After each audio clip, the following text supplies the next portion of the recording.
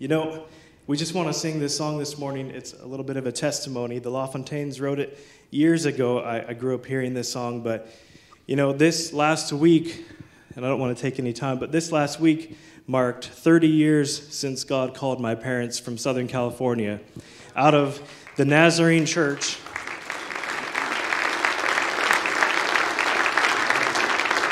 my uncle Tom witnessed to my mom, and if you've heard their testimony, it took a little bit for my dad to get on board. But my mom was actually sitting in the Nazarene church, and God spoke to her heart and said, Come out of her, my people.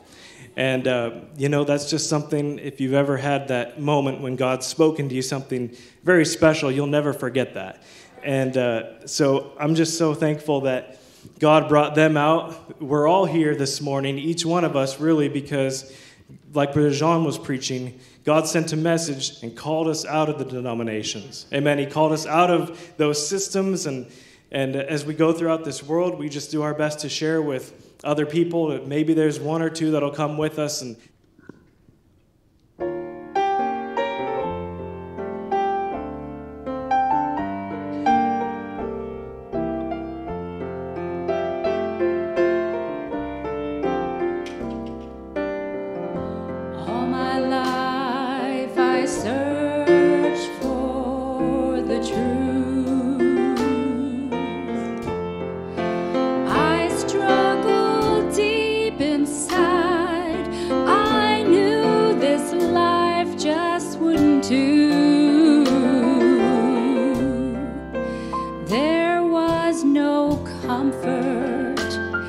in some man's philosophy.